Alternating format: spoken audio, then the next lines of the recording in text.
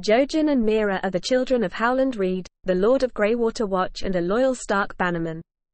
They first appear in A Clash of Kings, when their father sends them in his place, to attend the Harvest Festival and renew House Reed's pledge to House Stark and support the children of the late Eddard Stark.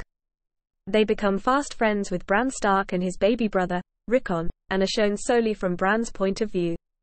The older sister, Meera, is 16 years old when introduced in A Clash of Kings. As is typical of Crannogman, Meera is short, slim, and flat-chested with long brown hair and green eyes, and is described as having a cheerful disposition. She is intensely loyal and protective of her prince, as well as of her own brother, with Bran commenting that the only one who ever angers or upsets her is her brother, Jojen.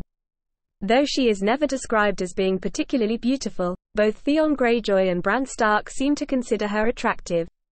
She is a skilled huntress and fights with a small fishing net and a three-pronged frog spear. Similar in style to a Retiarius, she is able to defeat Bran's direwolf, Summer, in mock combat by entangling the direwolf in her net.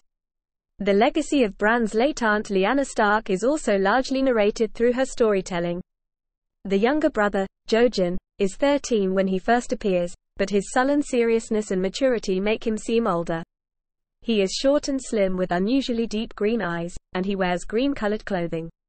He claims to have green sight and the power of prophetic green dreams, from which he knows various arcane facts, including the day of his death.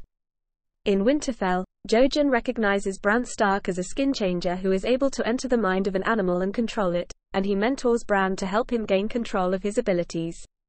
When Theon Greyjoy captures Winterfell, Jojen and Meera hide with Bran and Rickon in Winterfell's crypt after feigning escape, and they join Bran in his journey north in search of the three-eyed raven after Ramsay Snow sacks and burns Winterfell.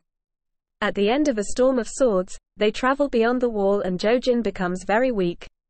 In A Dance with Dragons, Meera struggles to keep the group's spirits up but implies that Jojen's future is bleak.